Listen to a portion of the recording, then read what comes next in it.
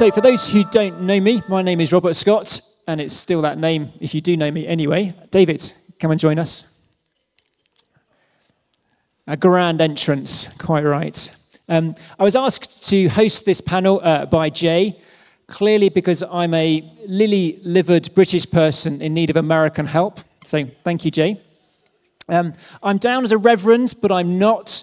I have studied theology at a couple of different places, along with uh, other degrees, but I'm not officially a reverend. I am uh, on staff at a church in the city of London and work largely in East London, uh, amongst Bangladeshi Muslim people. And in our particular area, there's about 100,000 uh, Sylheti Bangladeshi Muslim people and maybe five or six uh, followers uh, of Jesus. Uh, I've been, been go- involved in some meetings for better understanding, which is midway between a kind of interfaith group hug and nasty polemics where people fight one another. Thank you. Um, and written a couple of books off the back of those as well. We've just started a church, uh, some people from my church and other churches in our area, and some American missionaries amongst Sylheti Bangladeshi people in both Sylheti uh, and in English. And do, I do some teaching at a theological college as well. So that's me, and then we're going to have 90 seconds from each of the panel here introducing themselves, and then I'll be asking them various questions and hopefully muting them at various points if they go on too long, because I feel it might be tricky hosting these cats in a bag. Anyway, George, introduce yourself. And how did you get into polemics? How did I get? Into polemics. Okay. Uh, George Saik with Ministry to Muslims. Uh, we, our job in the United States is to make Jesus known among Muslims. Uh, uh polemics, uh, I find it as debating and one-on-one with Muslims that uh, there's no way around it. I have to use it. It just came natural. we have to do it. Uh, they need to be challenged. Otherwise, they think they are in a perfect place where they don't look for something else. Once Islam is challenged, that's when they are more open now to seek something, something else. Thank you. Chris, introduce yourself and why polemics? Hi there. Oh, there we go. Um, so I was raised in an atheist household, and I became a Christian at the age of 17. And I immediately became interested in being able to demonstrate my faith practically and logically. Um, and that led me to science and philosophy and history.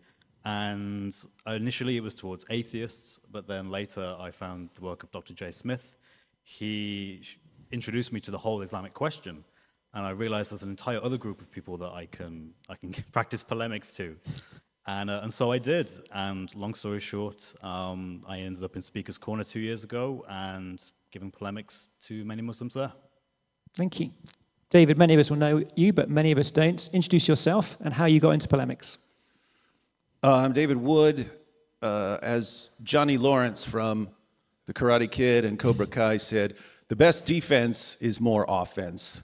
And so uh, that, that, that has stuck with me. But oh, I, I got into polemics, uh, having discussions with Nabeel, and a lot of it started off with him giving arguments for Islam that I would then go look up in the Muslim sources. He'd give like a scientific miracle or something like this. But then I would find all this other stuff, and then I would go back to him and find out that he's really bothered by that other stuff I would bring up in the same source. And so it was just, it was just basically uh, it was just basically trial and error, and it was that combined with it seemed like back then Muslims were always on the attack against Christianity, and Christians had been trained not to attack Islam. And so, like, this is like, this is insane.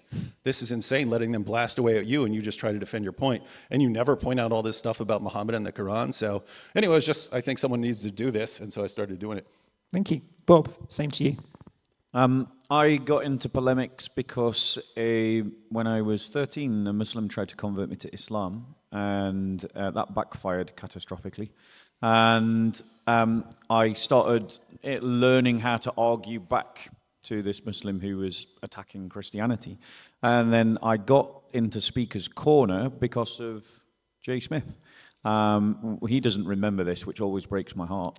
But like, we met at uh, Roger Forster Ichthus uh, July project event, which was for university students. And uh, me and, you know, the, everyone had sort of pinned me as the Islam guy. And then Jay came, and in everyone else's minds, oh, I like you and Jay, yeah. And he invited me to Speaker's Corner. I went down there and, and went loads and loads of times, none of which Jay remembers. Um, and then, yeah, that's it. When heroes don't remember you, it's very sad. Jay, same question to you. I'm the guy that he's talking about. I, I don't remember that, but I'm just glad the Muslims are the ones who really taught me how to do polemics. I think when you engage with Muslims, they are so passionate. They're such lovely people, and I just love to copy them. The, bad, the great thing is they're hopeless at defense. So why not use polemics? Thank you. So I've got a series of questions just for each individual, um, and then we'll kind of go discussion after that. This topic is uh, why do Christians dislike polemics? Bob, why do Christians dislike polemics? Why do Christians here, why do specific Christians that you know dislike polemics? Um, I, I think it is because the church is in the grip of comfortable people.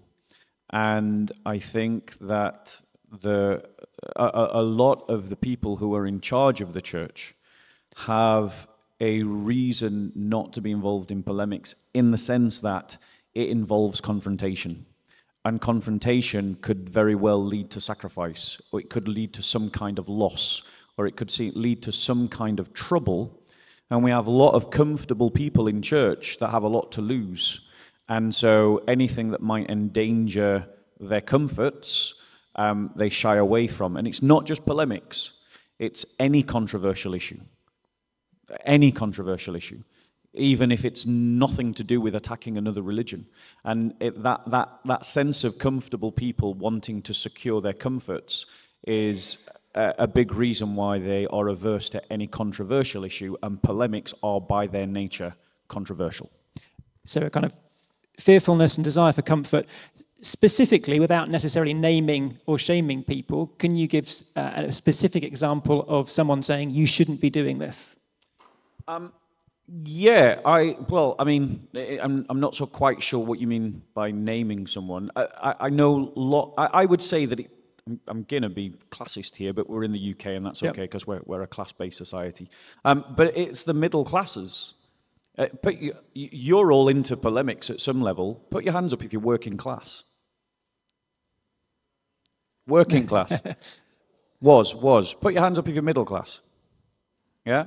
So the, it, it, there's a higher proportion of, of working class people here in this group than there are in your average fellowship. Because your average fellowships are, are middle class enterprises.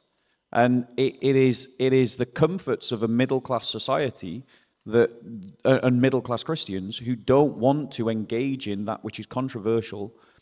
And, and so I've encountered pastors. I'll, I'll give you an example of a particular church. We were going to have this conference in another church.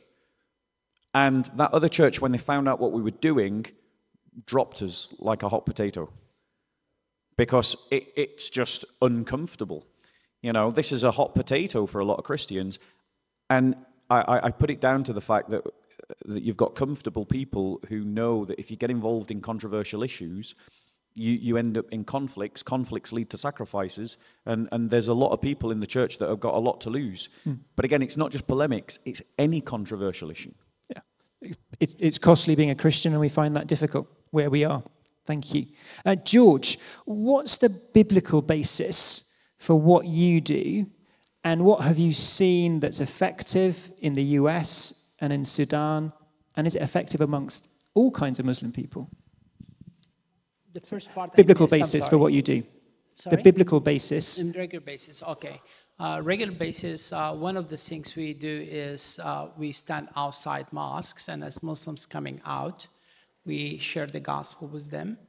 And also, things that we start doing is to set up the different readings of the Quran at Arabic festivals. And it is very challenging to Muslims, especially young people. Uh, they realizing that their leaders lying to them, and they just take their phone and start taking pictures of these Qurans. And uh, it doesn't require a lot of work, but it's very because this is the lie they've been told all their life. The Quran is perfect. Mm-hmm. And as they walking away, we ask them what else they lied to you about. I said, what do you mean? oh, they told you the Quran is perfect and now you discover it's not. what did they tell you about the Bible? And is this the same? So you've got experience in America and in Sudan. Is it the same kinds of things in both places? No, in Sudan it's different. In Sudan it's uh, mostly first we connect one on one, and uh, then we do outreaches. Uh, but we have uh, book fairs, Christian book fairs in in parks and in the River Nile. We have a boat that we rent once once a year for a month, where that's working with Operation Mobilization. The Muslims comes uh, for the book fair, and we have 20 minutes or 30 minutes uh, trips in the river while we sharing the gospel, or preaching the gospel to them. Uh, so, uh, comparing Sudan to another Islamic countries, we had freedom in the past more than in North Sudan, more than any other country, while 2.5 million Christians being killed in the south of Sudan uh, by the Northern Sudanese. Uh, last year, from April 13 to now, uh, there's a war happening. Two militaries fighting each other, but both are killing Christians, and both of them are destroying churches in Khartoum and other surrounding areas. So, obviously, a different context from the States in, in that angle. Thank you. David, you're obviously well known for your YouTube videos and sometimes a mocking tone towards Islam. Um, does that kind of thing, do you think, work in relationship rather than just on a screen?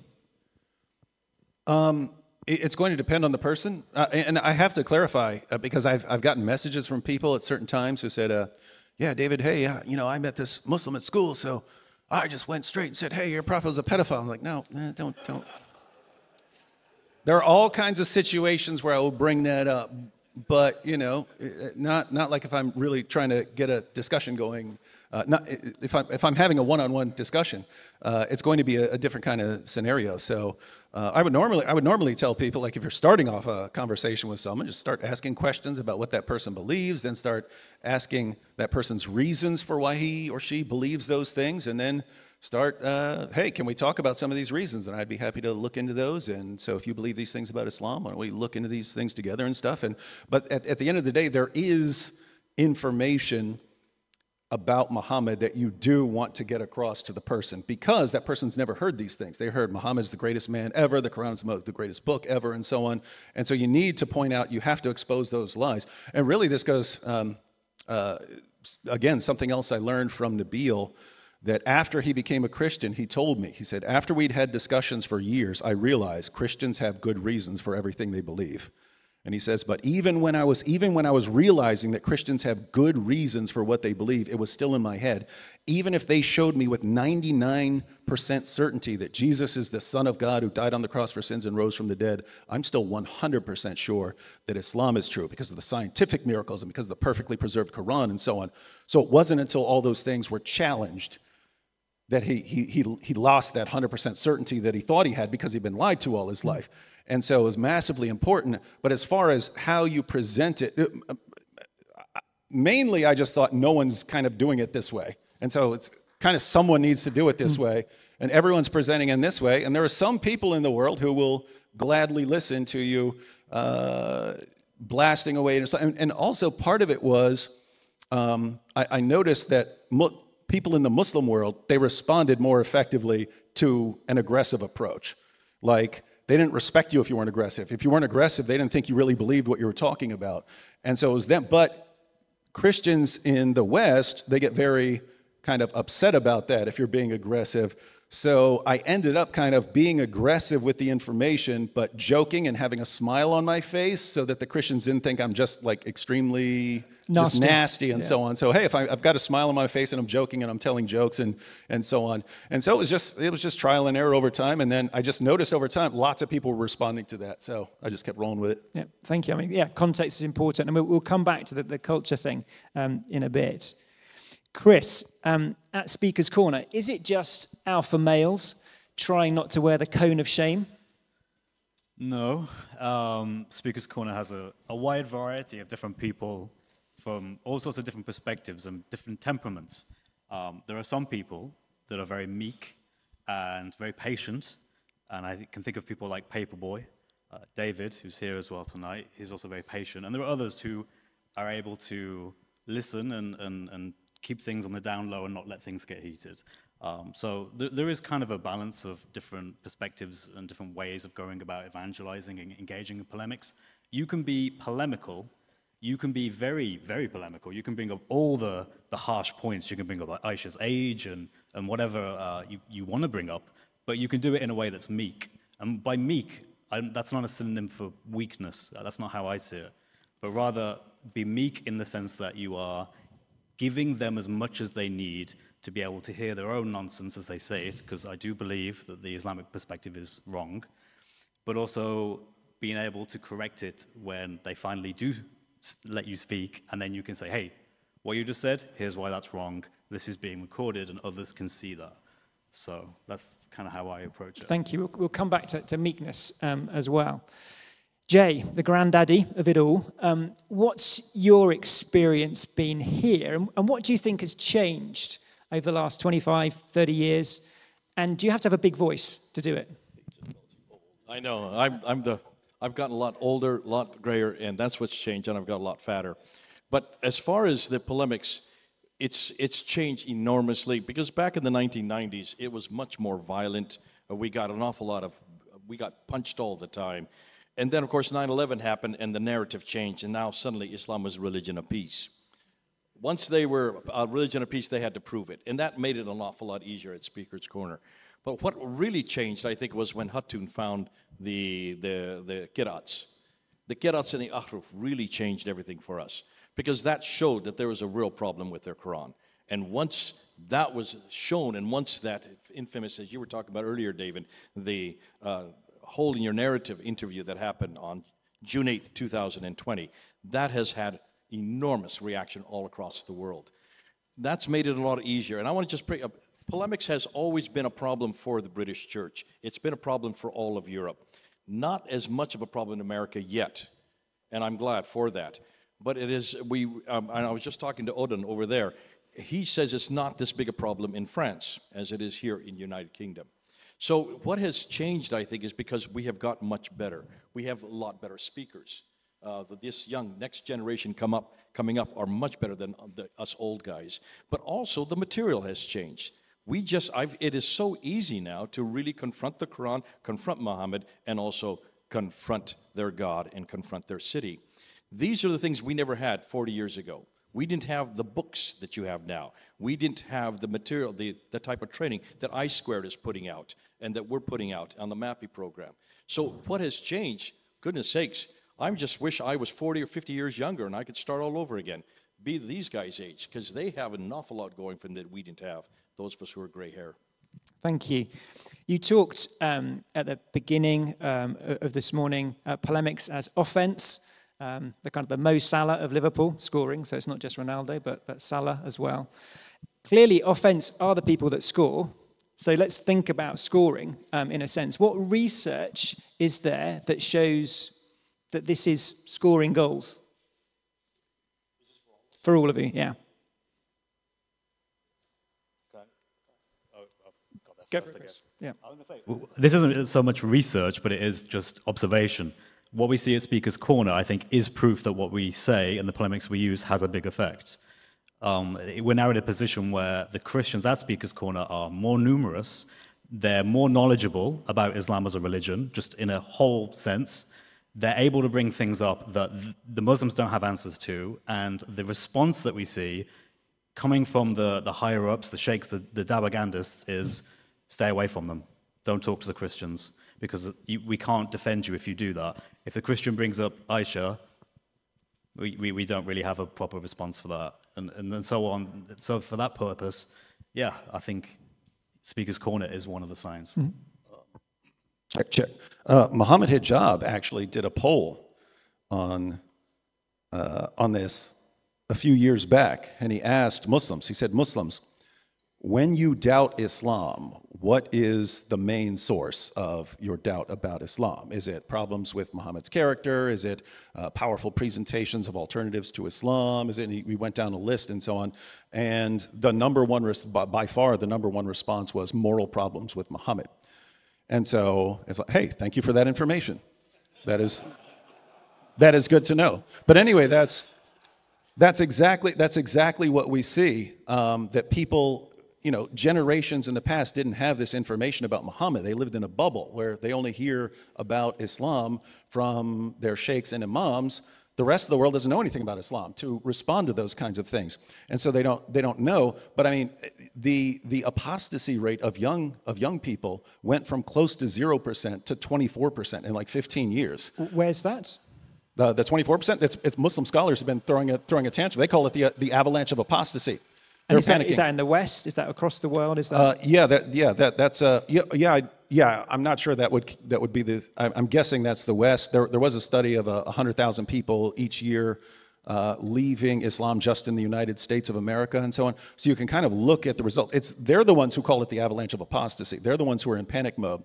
And so yeah, you can just basically look at the last 20 years. As soon as people started sharing information about Islam, as soon as non Muslims started learning about Islam and exposing the things that the Muslim, uh, the, the Muslim scholars and the Dawa guys were saying, um, that's when you started seeing the apostasy rate shoot up massively. And so I, I think that's a. That's, Thank you. And Chris, you obviously mentioned um, Dawagandis trying to avoid you at Speaker's Corner. Bob, you're, you're at Speaker's Corner. How has it been in terms of results? I think faithfulness, we're called to faithfulness, and God brings the fruit. But what, what fruit have you seen? Um, is Luca here? Brother Luke. Is he here? I- I- I- where is he? Is he here? He was here. Yeah, th- those of us from Speaker's Corner know who Luke is. Right? Put your hand up if you know who Luke is. Keep your hand up if you knew that Luke was a Muslim previously. He got baptized this year. And, and he's not the only one. There's a number of, I know of at least, uh, there, there was a, a brother that contacted me who, there's a video of him challenging me at the corner. He's a young Muslim, Salafi, beard, angry, menacing, hooded. Um, and there's this video that he sent to me when he sent me the email saying that he'd confronted me, but now he has returned to the Christian faith. And he's now a, a deacon in the Orthodox Church. There's another video of it, it's the one where I get in a scuffle with um, Hamza, the, the ginger pirate.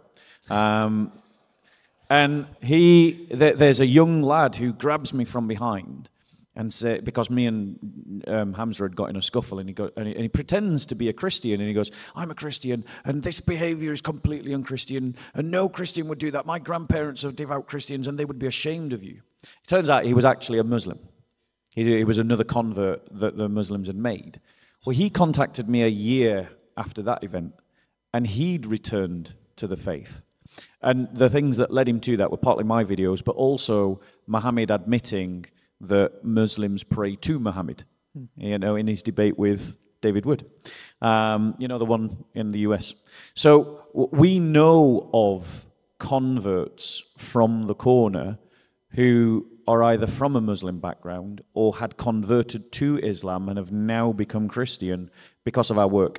And then that is not even to mention the number of emails that I get or, the, or, or comments in the comment section or people. I've got people who come to in my covenant partner meetings. There's a, a, a sister that comes to my covenant partner meetings. She was a Muslim. She she'd converted when she married. Uh, th- th- this is the brother. Give him a round of applause. That's going to confuse him. Don't tell him why. We- We're just But glad you're here. Yeah, but there's there, there's a sister whose entire who, whose da- two daughters they were all Muslims, and they are now covenant partners with me, which means that they fund my work. They were all Muslim, having married a Muslim and had children to the in the Muslim family, but now they're all Christian, and their son they are confident is going to become a Christian soon. So there is lots of evidence. I have personally heard testimonies of people becoming Christians because of my work at Speaker's Corner. Thank you. Thank you. That is so encouraging. Just to, to come back to kind of the, the meekness um, point, I don't see a lot of meekness.